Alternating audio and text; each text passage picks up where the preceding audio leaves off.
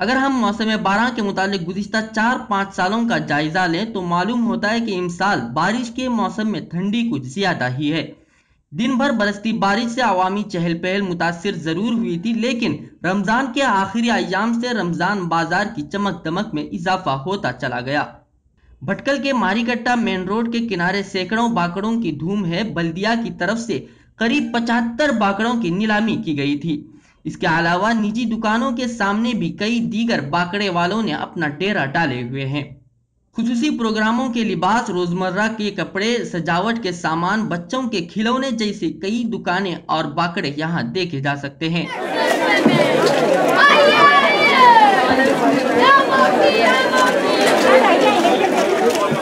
ईद उल फित्र की खरीदारी के लिए यहाँ इस वक्त आवाम का हुजूम उमड़ पड़ा है।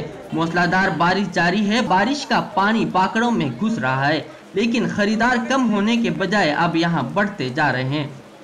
क्या बारिश से खरीदारों को कुछ परेशानी हुई है? आइए हम यहाँ जानने की कोशिश करें। बारिश बारिश रहने से वजह से खरीद करने में प्रॉब्लम हो रहे हैं और बार बार मार्केट आना पड़ रहा है ये बार बारिश बहुत रहने से वजह से पानी भी मार्केट में बहुत है ಹಾಂ ಮಾರ್ಕೆಟಿಗೆ ಓಡಾಡೋದು ತುಂಬ ಖುಷಿ ಆಯಿತು ಆದರೆ ಸ್ವಲ್ಪ ಮಳೆ ಜಾಸ್ತಿ ಇರೋದ್ರಿಂದ ನಮಗೆ ಸ್ವಲ್ಪ ಕಿರಿಕಿರಿ ಆಗ್ತಾ ಇದೆ ಹಾಗೆ ಅಂಗಡಿಯವರಿಗೂ ಸ್ವಲ್ಪ ಕಿರಿಕಿರಿ ಆಗ್ತಾ ಇದೆ रमजान बाजार के ताल्लुक से हम सुनते आ रहे थे कि यहाँ रमजान के आखिरी आशरे में करोड़ों का कारोबार होता है मगर इस बार तेज और मुसलसल हो रही बारिश से क्या कारोबार में कुछ फ़र्क पड़ा है?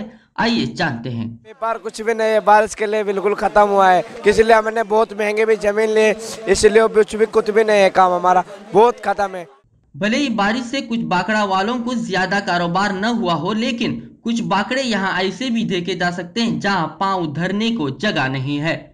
सस्ती मगर बेहतरीन चीजें इस बाजार में दस्तियाब हैं जिसको देखते हुए अवाम बिलखसूस खवातीन की कसीर तादाद देखी जा सकती है भटकल के साथ साथ पड़ोस के शिरूर बैंदूर कुंदापुर हुन्नावर कुमटा वगैरह से भी कसीर तादाद में लोग यहाँ खरीदारी के लिए आए हुए हैं ಈ ರಂಜಾನ್ ಪೇಟೆಗೆ ಕೇವಲ ಭಟ್ಕಳದವರು ಮಾತ್ರ ಅಲ್ಲ ಹೊನ್ನಾವರ ಕುಮಟಾ ಈ ಪಕ್ಕದ ಕುಂದಾಪುರ್ ಬೈಂದೂರು ಕಡೆಯಿಂದ ಹೆಚ್ಚಿನ ಜನ ಗ್ರಾಹಕರು ಈ ರಂಜಾನ್ ಪೇಟೆಯಲ್ಲಿ ಪಾಲ್ಗೊಳ್ತಾ ಇದ್ದಾರೆ गरचे रमज़ान बाज़ार कहलाता है, लेकिन तिजारत और खरीदारी के लिए जात पात धर्म और मज़हब की कोई तफरीक नहीं है। अगर हम रमज़ान बाज़ार को एक जहती या भाईचारगी की मार्केट कहें तो भी गलत नहीं होगा। मुंबई, उत्तर प्रदेश जैसी दूर दराज रियासतों के ताजिर भी यहाँ ठिकाने डाले हुए हैं। आप यहाँ देख सकते हैं कि एक त्योहार का सा समा है, हर कम्युनिटी के लोग अपनी अपनी पसंद की चीज़ें खरीदने में लगे हुए हैं। हर दिन सुबह नौ बजे से शुरू होने वाला रमज़ान बाज़ार रात एक बजे तक खुला रहता है। अलबत्ता आज रमज़ान के आखिरी दिन पूरी रात ये बाज़ार खुला रहने का इम्कान है। यहाँ हिफाजती इंतज़ाम के तहत कौमी समाजी इदारा मजलिस इसलाह तंजीम भटकल की जानब से जगह जगह सीसीटीवी कैमरे नस्ब किए गए हैं, ताकि शरारत करने वालों पर नज़र रखी जा सके। ख्याल रहे कि बाज़ार अब अपने पूरे शबाब पर है और आज रात को ही इस बाज़ार को समेटना है।